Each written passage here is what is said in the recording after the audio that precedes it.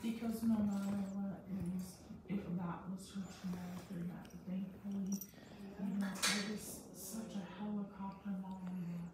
She never got